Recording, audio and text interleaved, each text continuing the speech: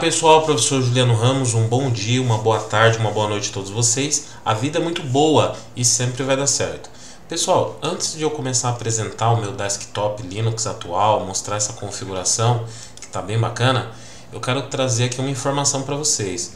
O- A URL do nosso canal aqui do YouTube, que antes era youtube.com.br certificaçõesnet.br, agora é Prof. Juliano Ramos, tá? Então atualiza aí se você tem salvo nos seus favoritos, porque em breve a URL barra certificaçõesnet.br não vai acessar. O site certificaçãonet.br que nós vendemos cursos continua, o site não mudou nada, ainda tem lá os cursos online para você fazer.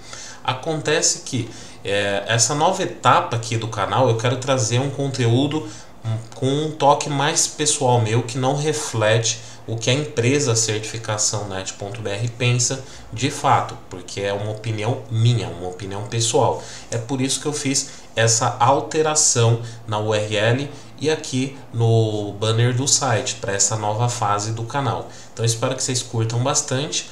O canal continua com o mesmo conteúdo, mas melhorando agora a qualidade aí dos vídeos, como vocês podem perceber, eu estou tentando trabalhar bastante nessa melhora da qualidade dos vídeos. Conto com vocês para se inscrever, curtir e continuar participando aqui do canal. Vamos que vamos, vamos ver o vídeo aí da personalização. Olá pessoal, vamos falar aqui um pouquinho sobre minha personalização do desktop Linux. Eu estou utilizando aqui os scripts do Raul Dípias e a gente tem se falado bastante aí no nosso, nosso grupo do Telegram, que fica aqui na descrição para você entrar aí no grupo do Telegram. E estamos buscando cada vez mais uma personalização. Vou entrar aqui no, no site dele, Raul Dípias. A gente fez até uma entrevista aqui que você pode assistir aí no canal, buscando uma, uma personalização para o Ubuntu que traga uma otimização, um conforto de se utilizar e que seja algo bem moderno, bonito. Né? Então, o meu ambiente, por exemplo, nem se parece, nem está aparecendo aqui que eu estou utilizando de fato o Ubuntu, né? de tantas diferenças que a gente fez aqui no sistema. E qualquer um pode explorar os scripts aqui do Raul, rauldipias.github.io, xfscripts e instalar né, scripts e, uh, e melhorar esses scripts aí. Tá? Então, otimizando aí o, os scripts e tornando tudo mais interessante. Beleza? Muito bem. É, então vou apresentar um pouquinho das modificações, como que está o meu ambiente. Basicamente utilizei as configurações lá do XFScript e instalei algumas aplicações próprias. Então eu vi que as pessoas comentam aí que vê a, as imagens do, dos aplicativos que eu tenho publicado, né, dos, das dicas bolachinha, e tem sempre colocado nos comentários, ó, oh, fala da sua distribuição Linux, né, o que tem tornado você mais efetivo. Bom, é, deixa eu voltar lá nos scripts, que aí eu mostro alguns dos scripts que eu utilizei, e eu acho que fica mais legal assim. Então lá no site do Raul Dípias, vamos abrir aqui novamente, em XF Scripts, eu vou falar alguns scripts que eu usei. Eu instalei aqui o Bash It, tá? Então uh, tem que você ler o tutorial aqui uh, de como funciona. Você vai instalar os scripts, né? Então a hora que você entrar aqui, faz uma leitura. Eu instalei o Bash Script, instalei o, o tá? Que é o kernel, esse kernel que roda em real time, funciona muito bem, principalmente para games. Uh, daqui eu rodei o aqui depois eu instalei aqui o Escape para funcionar a tecla Windows, tá? Para abrir o menu. Então quando eu aperto a tecla Windows, ó, abre o meu menu. Eu usei o Skip XD, né? Que é, quando você clica aqui, quando você tem várias janelas abertas, ó, você pode escolher a janela que você quer, tá? Bem interessante. Instalei a central de notificações, que é uma barra de notificações que aparece aqui do lado direito. Quando eu aperto a tecla Windows mais M, aparece aqui as notificações. Uh, eu instalei também a, a eu não, não instalei a Dockbar eu não instalei eu instalei aqui o painel o painel que eu estou utilizando o Compton que traz o efeito de blur e depois instalei alguns outros softwares aí, fora algumas personalizações próprias que eu fiz. Então, vou falar um pouquinho aqui de como que tá a navegação. E se você quer ter isso para você, coloca um comentário o que, que você acha desse trabalho aí do Raul. Eu agora estou com ele, a gente está com um projeto de, de, de fornecer cada vez mais um ambiente mais polido, baseado em pesquisas que eu vou usar o canal para fazer esse tipo de pesquisa. Bom, pessoal, começando aqui eu vou falar um pouquinho do, do...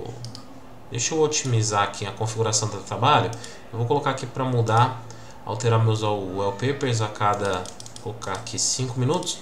É, começando aqui, ó, eu tenho um conjunto aqui de é, wallpapers muito bonito que deixa o visual bem bacana, tá? Então estou pesquisando, em breve vou com, compartilhar com vocês. Estou pesquisando aí wallpapers em 4K e que sejam Creative Commons para que a gente possa utilizar, criar um pacote aí bem bacana de wallpapers que você possa utilizar e trazer aí é, um ambiente bem moderno para vocês, né? que vocês consigam utilizar bacana sem nenhum problema é, sendo Creative Commons. Então eu tô, tô, pesquisando aí ó, vários wallpapers de alta qualidade, como vocês podem ver. Isso torna meu dia a dia mais agradável, né? Porque é bacana você você ter um desktop bem bem clean aí, né? Bem bonito para você trabalhar. Beleza. Então falei aqui um pouquinho sobre isso. Vamos começar aqui do iniciar algumas aplicações que eu tenho que eu utilizo no dia a dia. Como navegador, eu estou utilizando o Walter, Waterfox. Waterfox ele é, é um fork aí do Firefox, né?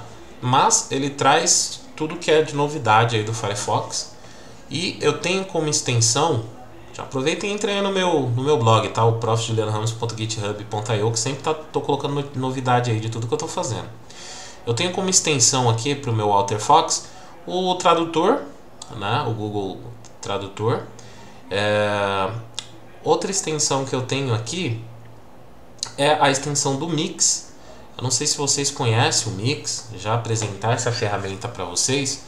O Mix é uma ferramenta muito legal que você salva a página que você está visitando e depois você vai ver isso como como se fosse uma página no Facebook, uma rede social.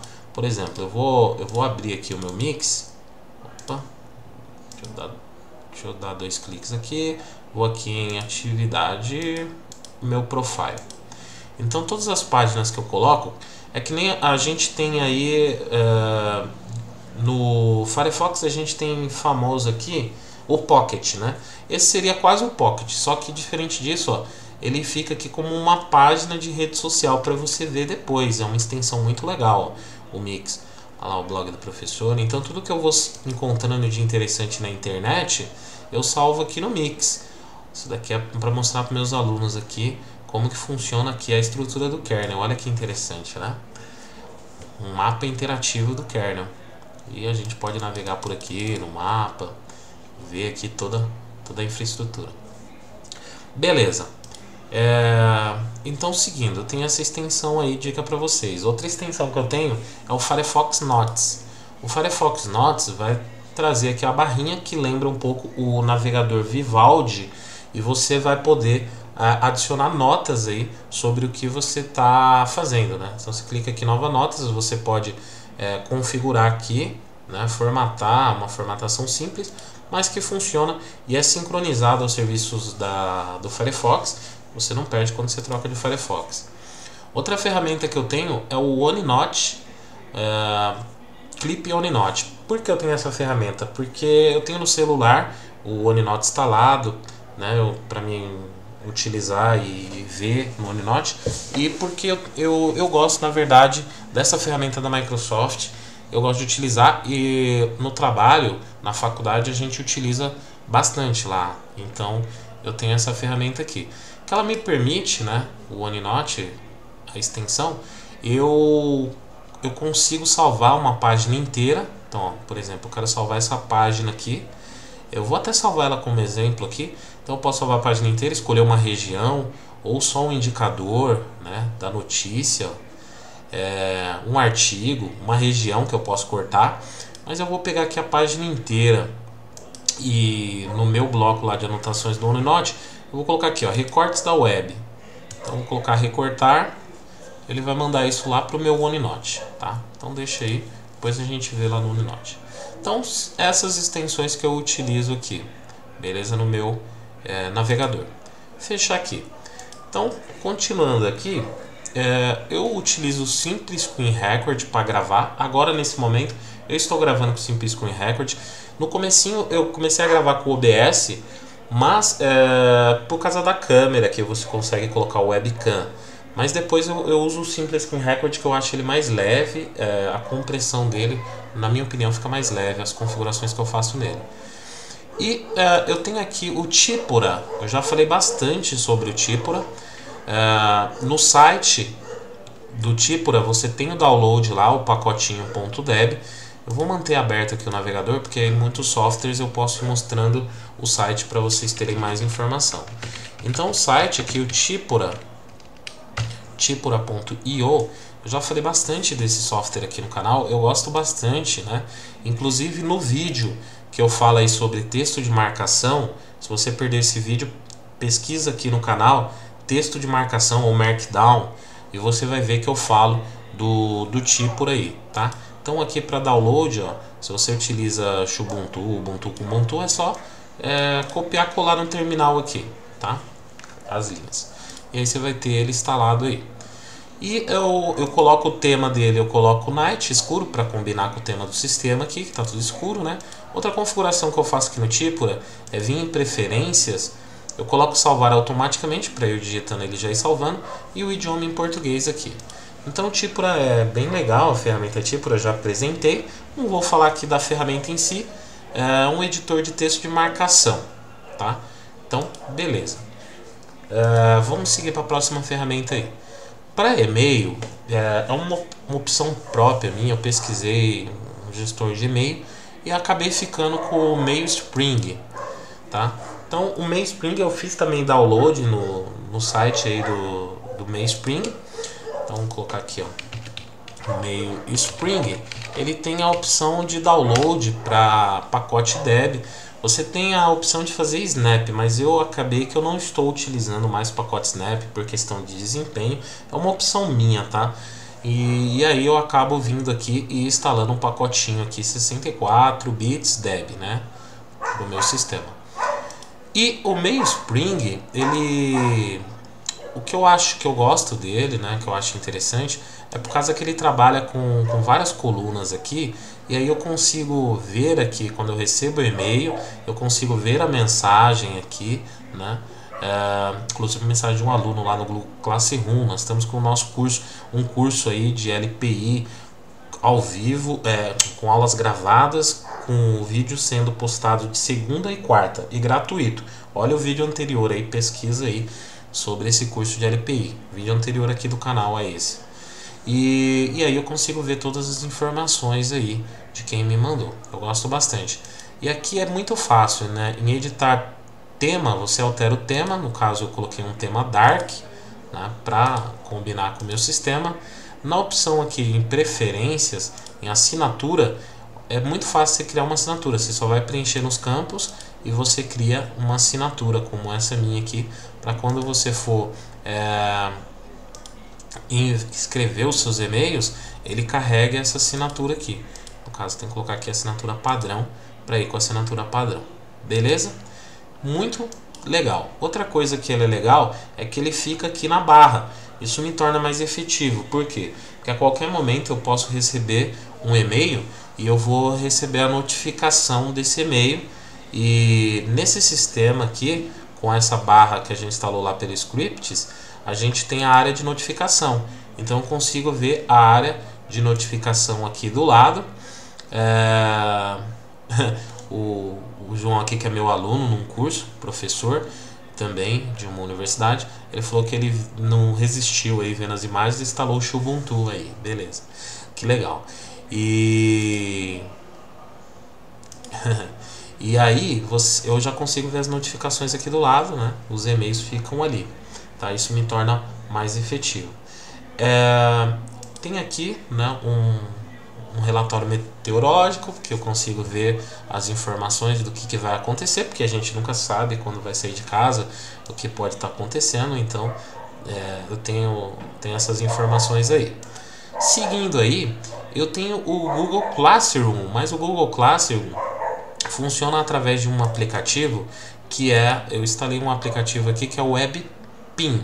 Esse web PIN permite eu instalar web apps e esses web apps vão abrir através de uma janela. Então o Google Classroom, por exemplo, ele abre através de uma janela e funciona como um web app. Né? E aí eu consigo gerenciar, por exemplo, os meus alunos dos cursos que estão fazendo. Olha lá, pessoal do curso preparatório de certificação LPI, que as aulas são gratuitas aí, sempre sendo publicadas de segunda e quarta-feira, volto a falar. Assiste o vídeo anterior aí, que você vai ver como que tá bem legal. Eu acesso via um web app aqui, então consigo ir colocando as notícias, isso me torna bem efetivo é, para administrar. E aí eu coloquei alguns outros sites, como o Feedly, né, para para a gente ver notícias de blogs, o Twitter, né? Então meu Twitter, inclusive meu Twitter é prof Juliano Tux, né? Prof de professor Juliano Tux. Qualquer um fica é, tranquilo aí para me acessar aqui no Twitter, ó, Prof. Juliano Tux, tá? Então, ao meu Twitter aí, eu consigo acessar como uma aplicação aqui bem tranquilo. Tem o Reddit, né, para ver novidades. E o Mix aqui também, é, para ver aqui como um app o Mix que eu mostrei para vocês. E eu vejo como, como um app aqui. Então, é, então ele fica aqui o Google Classroom, tá? É, Aqui é normal, né? O gerenciador de, gerenciador de arquivos, nada de, de, de diferente. E falando sobre o software, eu utilizo o app do Telegram, inclusive vou abrir. É, vou deixar, tem aqui na descrição o meu, uh, o meu canal aqui do Telegram, tá? Então o que, que eu fiz aqui? Eu só mudei a configuração do te Telegram para tema noturno e em configurações eu fiz algumas configurações aqui no Telegram na configuração de chat, coloquei uma imagem para que ele ficasse com, com essa aparência aqui. Então, olha lá o pessoal comentando, né? Tá bem legal, começamos agora, ainda tem 230 membros, né? Mas tem tudo para crescer bastante, porque está sendo bem efetivo, as pessoas respeitando umas a outras, colocando conteúdo, divulgando conteúdo. Então, vem fazer parte desse grupo do Telegram. É, a gente fica às vezes 4 horas da manhã publicando informação lá. É muito legal. E uh, o Slack, eu utilizo o Slack, inclusive no projeto que eu estou aí com o Raul Dipas, a gente tem tocado o projeto uh, através do Slack. Eu não vou mostrar aqui o projeto para eh, não fazer spoiler dessas informações novas que a gente vai trazer para você, mas eu utilizo bastante o Slack, né? Uh, eu acho que algo me diz aqui no meu cérebro que eu falei Slackware. Mas enfim, eu já usei a distribuição Slackware. Nesse caso, estamos falando do Slack, é, que é esse software de comunicação de, de grupo, né? Para você montar a comunicação de grupo. Beleza. Então, vou fechar aqui o Slack.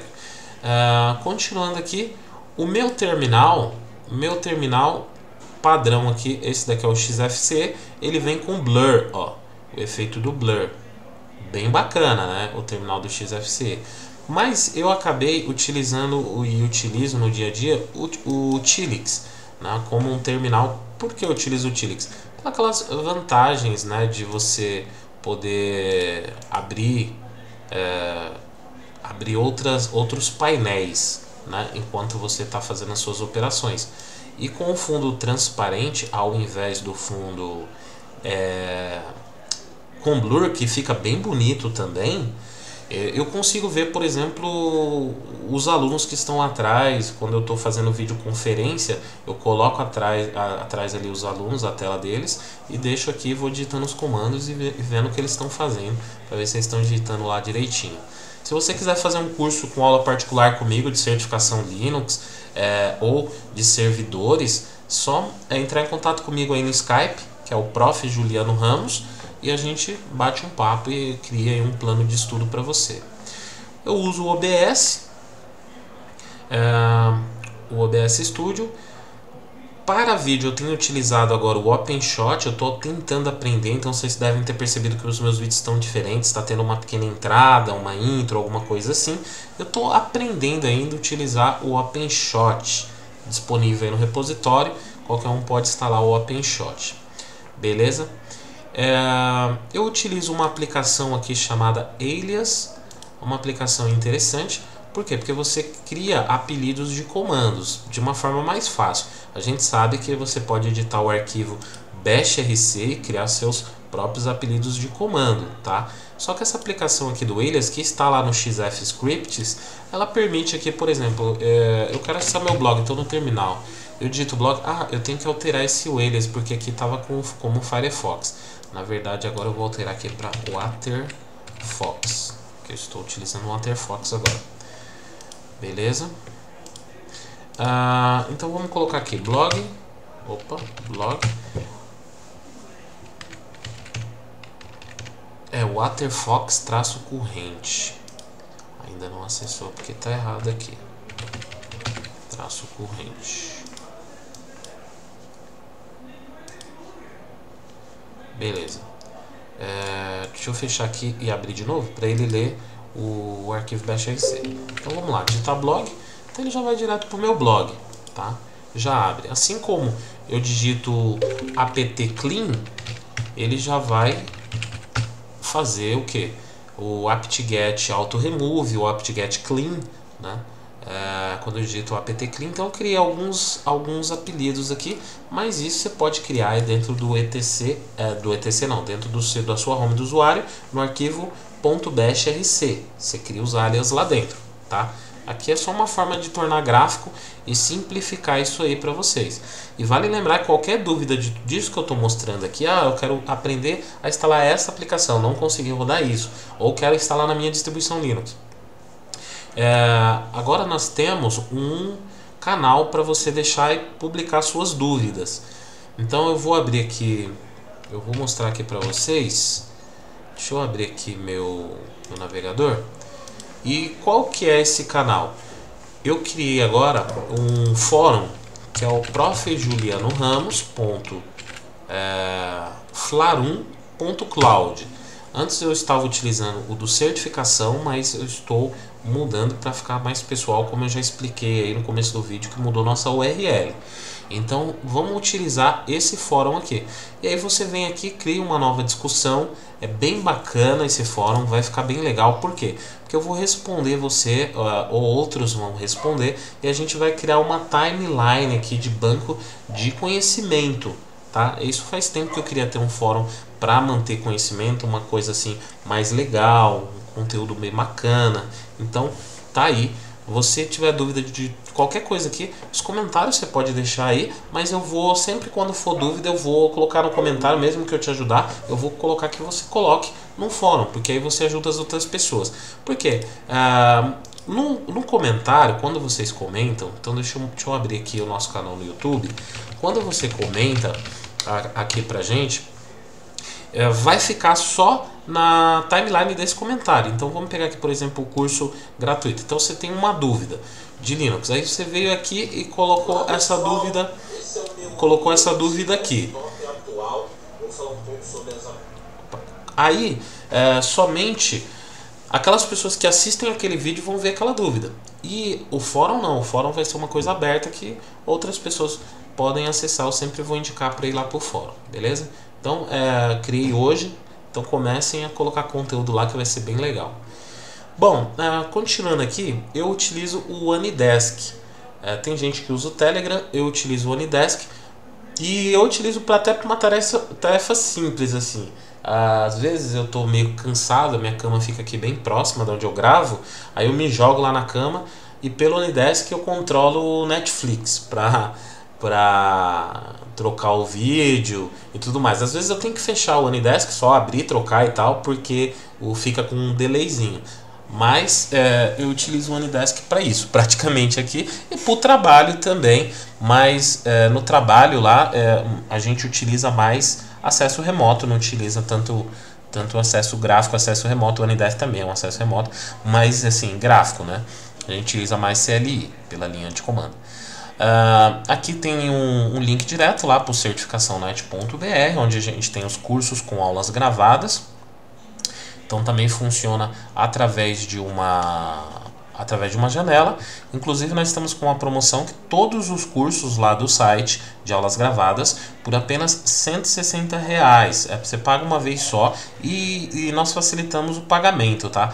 Quando você vai pagar, era uma coisa que antes depósito, agora não, você paga via cartão de crédito, você pode parcelar em 5 vezes de 34,43 bem baratinho aí para você ter acesso a todos esses cursos aí, né? Tem bastante conteúdo aí. Só o curso aqui de certificação e simulado de certificação já, já valeria muito a pena.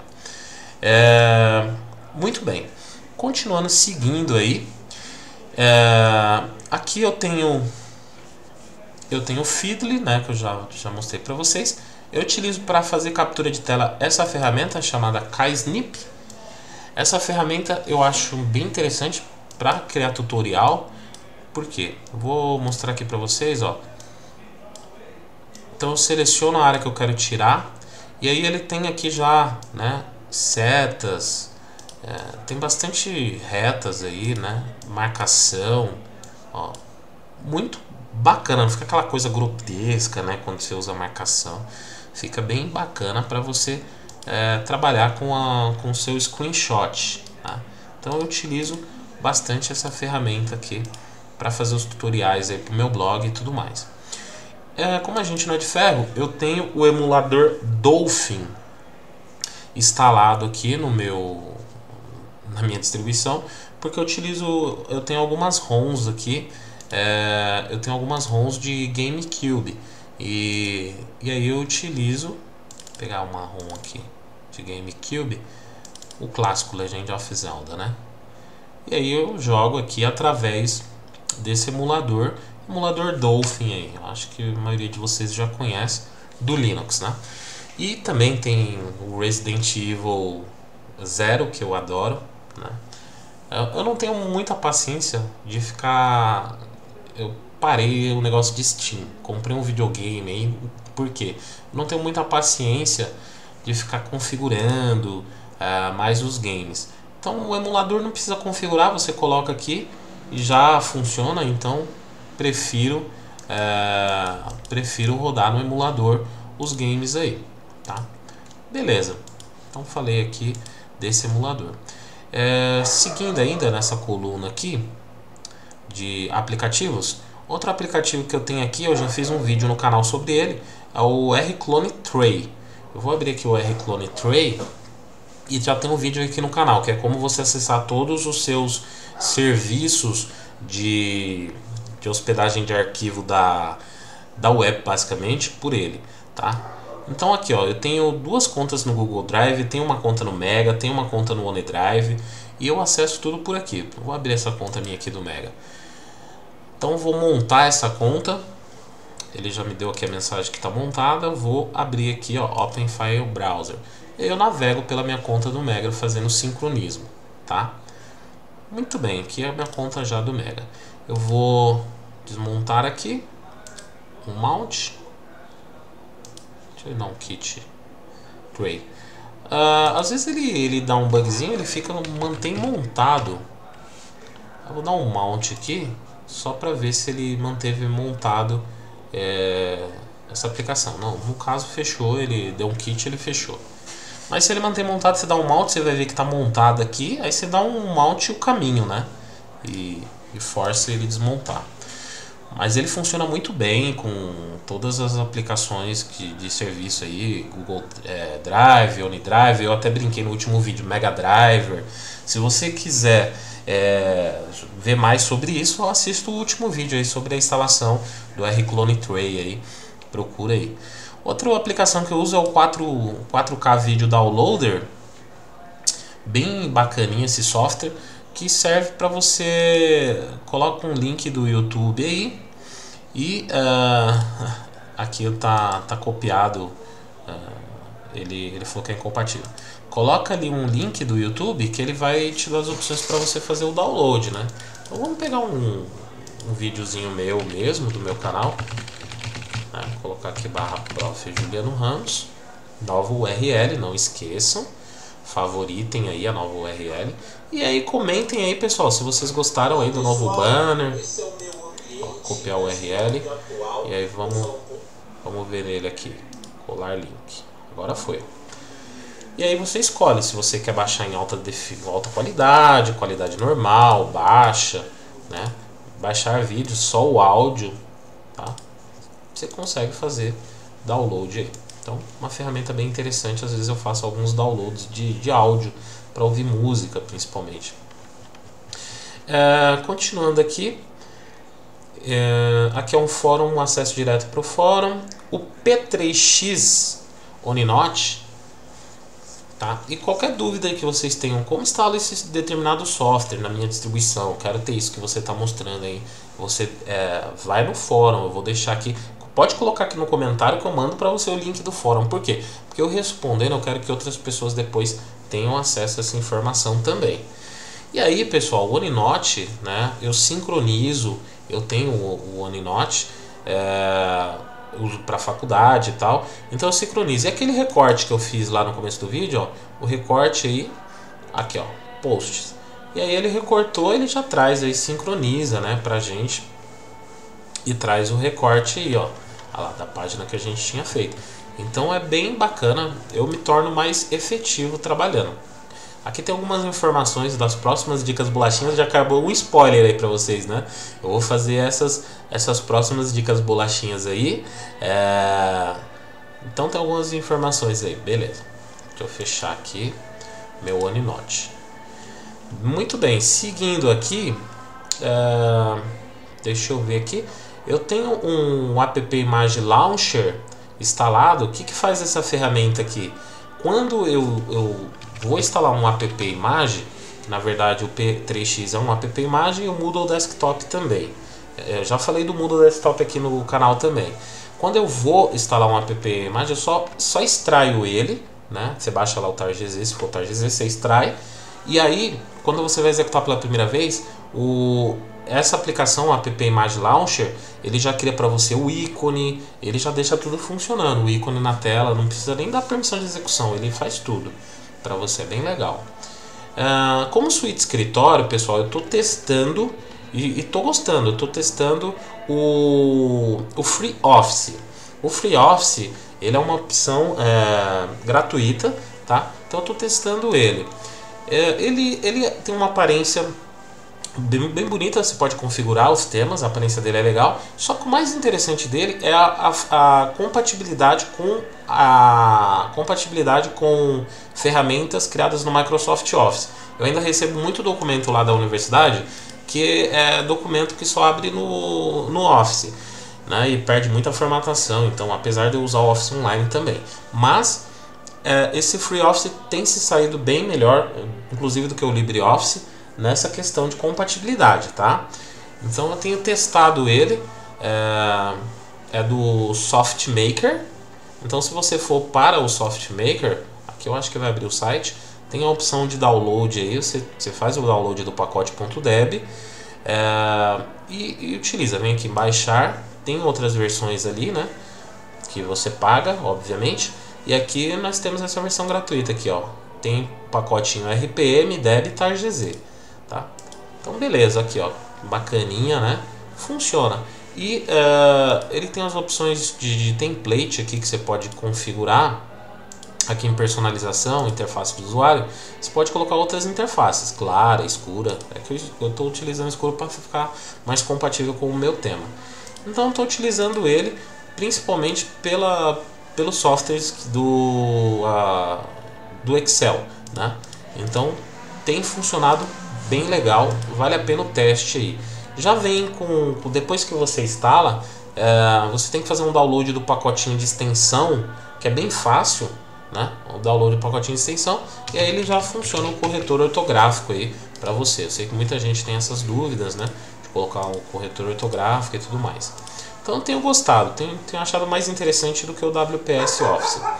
Seguindo aqui, é, deixa eu ver de mais aplicativos. Por aqui eu acho que, que já foi praticamente todos os aplicativos que eu tenho.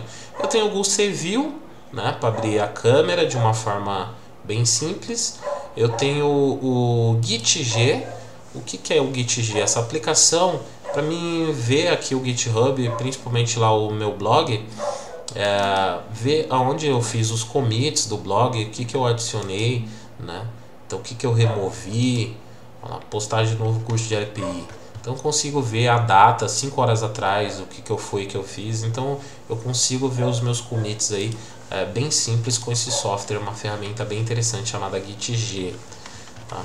Deixa eu ver o que mais eu tenho aqui de ferramentas que eu posso mostrar para vocês que me tornam mais produtivo. Eu tenho o GIMP, apesar que eu não utilizo muito o GIMP, eu utilizo bem pouco. Às vezes eu utilizo para redimensionar o tamanho de uma imagem, é, tirar um fundo, mas eu sei muito pouco sobre design. Tá? Eu sei muito pouco. É, o Melo Player é, essa ferramenta que eu gostei muito, tá? O Melo Player está lá no scripts do FX Scripts, tá? É, o Melo Player, ele é uma ferramenta, um player de música que você você acha com facilidade as músicas aí e uh, ele é compatível, você, você clica aqui, ele é compatível com várias ferramentas aqui de música, né? Tem, tem o SoundCloud, né? tem, tem o Jamendo, que eu gosto pra caramba do Jamendo, para descobrir sons novos aí. E uh, você escuta aí com tranquilidade, né? A música você escolhe aqui, vamos pegar aqui uma música aqui do, do Nickelback aqui.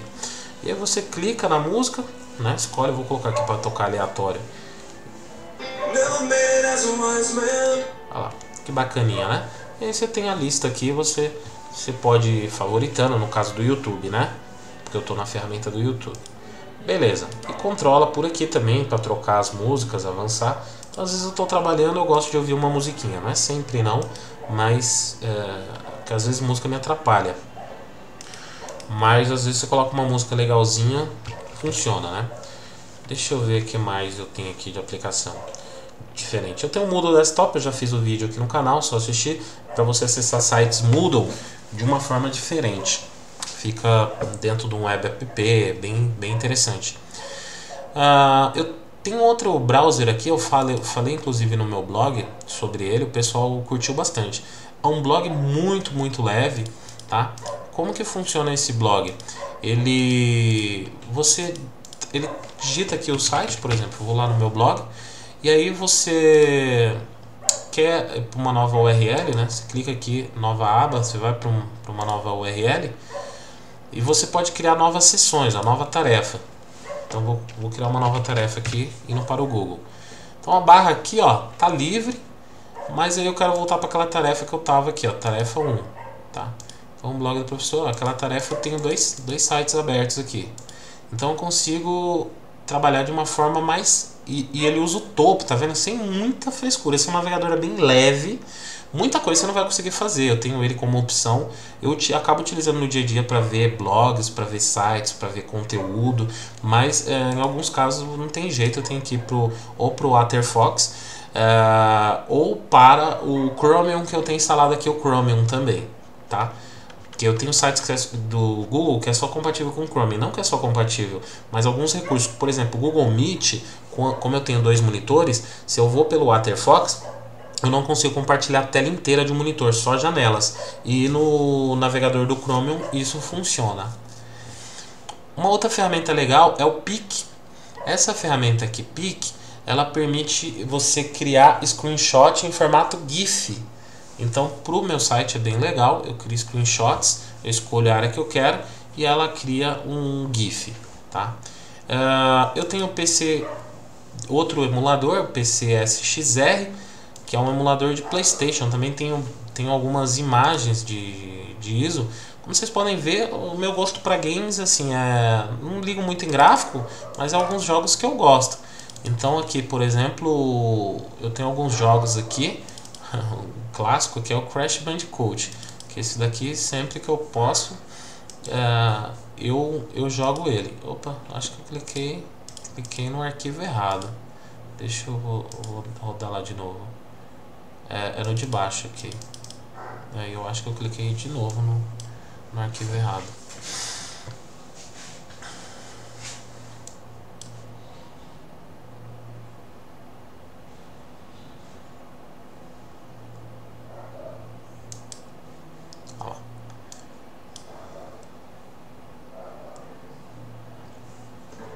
Agora foi.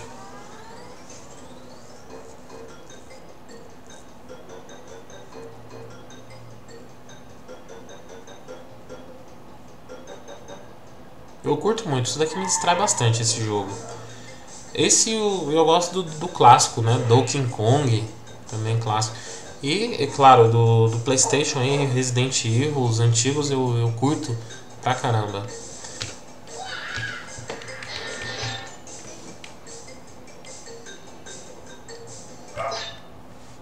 Emulador bem bacana, tá nos repositórios aí do Ubuntu, Ubuntu, né? E é ótimo para distrair. Não é sempre que eu tenho tempo não, mas quando eu tenho algum tempinho é uma opção para distrair. Bom, uh, ainda seguindo aqui, vamos lá. Uh, deixa eu ver, eu tenho um link direto para o LinkedIn. O Skype, né? Eu utilizo bastante o Skype. Deixa eu ver aqui que mais de ferramenta eu tenho que posso mostrar para vocês aqui. Uh, já falei do Twitter. Muito bem. Ah, uma, o VirtualBox, né? utilizo bastante o VirtualBox para minhas aulas. O Time Shift para fazer backup. O Visual Studio Code para o site, né? Então, o site eu crio todo em texto de marcação lá no Git Pages, né? É páginas do Git, e já faço aqui os commits tudo por aqui, então eu utilizo bastante o, o Visual Studio Code. É o software eu acho que no dia que eu mais utilizo. Para SSH eu estou utilizando o Snowflake, eu fiz um vídeo falando aí é, sobre o Snowflake, se você perdeu, assiste esse vídeo que é uma ferramenta muito legal que permite você fazer conexão SSH de forma gráfica com outros computadores remotos e você acessa tudo de forma gráfica aí, tá? Troca arquivos via SFTP, é muito legal. Bom, pessoal, acredito que é isso. Essa é a minha distribuição. Aqui tem alguns atalhos para o Reddit, softwares que eu utilizo no dia a dia. E, e é isso, mostrei inteirinha a minha distribuição para vocês. Deixa na, no comentário se você gostaria de utilizar, se você utilizaria uma distribuição assim e deixa aí no, no comentário, eu gostaria de ver sua opinião. E qualquer dúvida sobre qualquer um dos softwares que eu mostrei aqui, você pode deixar no comentário a dúvida, mas vá, vá para o fórum e deixa lá no fórum também essa dúvida, porque o fórum vai ser bem interessante para a gente ajudar outras pessoas. E vem no grupo do Telegram, vamos se falar lá no grupo do Telegram, beleza? Então é isso aí pessoal, espero que vocês tenham curtido. Até a próxima, vamos que vamos!